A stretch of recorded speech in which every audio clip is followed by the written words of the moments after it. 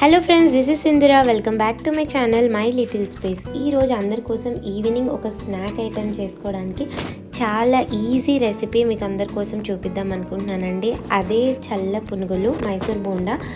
ఇది చిన్న చిన్నగా వేసుకుంటే చాలా బాగుంటాయండి. పిల్లలు చాలా ఇష్టంగా తింటారు.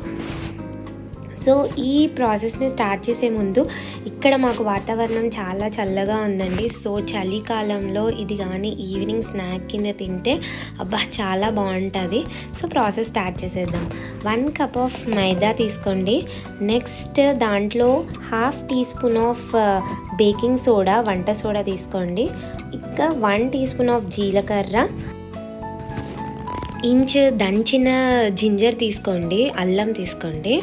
ఒక పచ్చిమిర్చి చిన్న చిన్నగా చీలికలు చేసుకుని వేసుకోండి.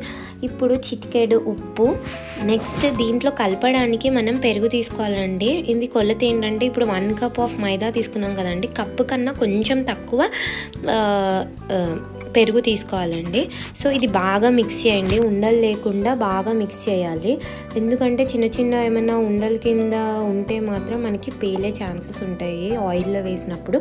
సో బాగా మిక్స్ చేయండి. ఈ కన్సిస్టెన్సీ ఉండాలి. మరీ పల్చగా ఉండకూడదు మరీ థిక్గా ఉండకూడదు అండి పల్చగా ఉంటే మాత్రం మనకి నూనె లాగేస్తాయి.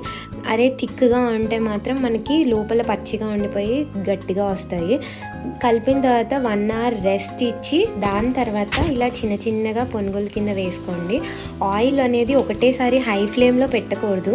కొంచెం మీడియం ఫ్లేమ్లో పెట్టి ఇవి వేసుకున్న తర్వాత అప్పుడు మనము కొంచెం నిదానంగా ఫ్రై చేసుకోవాలండి. ఎప్పుడైనా హై ఫ్లేమ్లో చేసుకుంటే ఫస్టే కలర్ వచ్చేసి మాడిపోతాయి తప్ప లోపల అనేది పచ్చిగా ఉండిపోతాయి. ఆయిల్ కూడా బాగా పీల్చేస్తాయి. ఇలా మీడియం ఫ్లేమ్లో పెట్టుకొని నెమ్మదిగా ఫ్రై చేసుకోండి. క్రిస్పీగా చాలా బాగుంటాయి. ఇవి వేడివేడిగా ప్రిఫర్ చేస్తారు. వేడివేడిగా తింటే ఆ మజానే వేరండి. ట్రై చేసి చూడండి చాలా బాగుంటాయి. చల్లగా అయ్యాక అంత బాగోదు. మెత్ స్కిన్ అనేది పైన మెత్తగా అయిపోయి అంత టేస్టీగా అనిపించదు మనకు.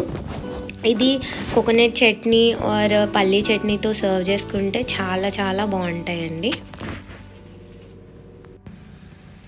ఈ రెసిపీ కానీ మీకు నచ్చినట్లయితే ప్లీజ్ లైక్ చేయండి షేర్ చేయండి కమెంట్ చేయండి.